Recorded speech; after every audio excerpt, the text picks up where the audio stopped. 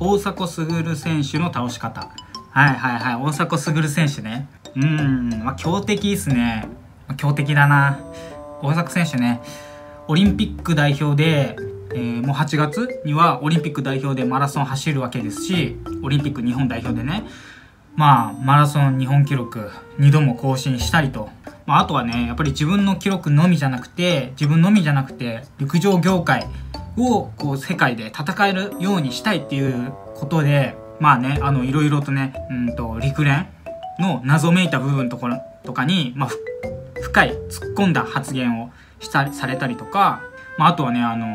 えー、後世に自分の走りを、まあ、世界と戦えるようにしたいというようなところでねシュガーエリートっていうのを作られたりとかね、まあ、本当にねこう大迫傑誰が勝つんだっていうところもあると思うんですけどうんまあでもイージーでしょうね。もう弱点知ってるんで僕。大迫選手何でも一番になりたがるんですよ。そこをつくんですよ。例えばね、まあ、彼の自伝本でも語ってたんですけどまあ、何が何でもどういうことでも一番になりたいんだと、まあ、例えばね、えー、有名なところだとロッカーの番号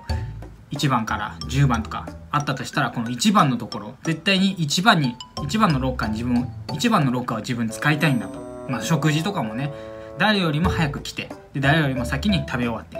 いう風にね。何にでも一番にこだわる性格されてるんですよ、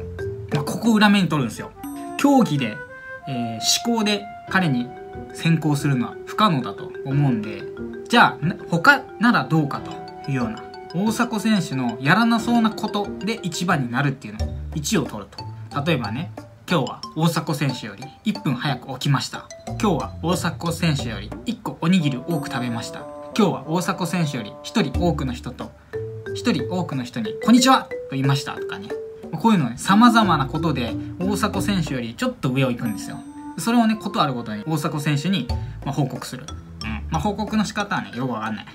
そうするとね大迫選手もこいつに負けれんなっていうような感じで負けれん。一番にならなきゃっていう気持ち強いんでね。まあそうなってくるとねだんだんねこう陸上どころじゃなくなってくるかなと思うんですけど、まあ、そういうところそこにね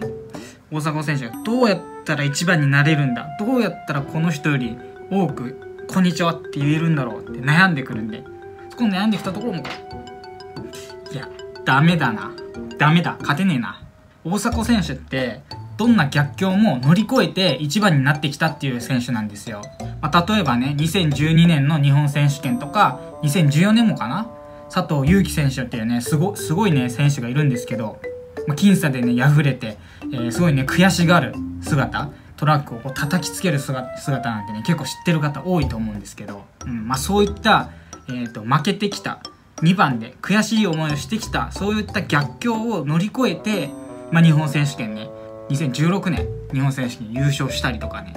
そうだな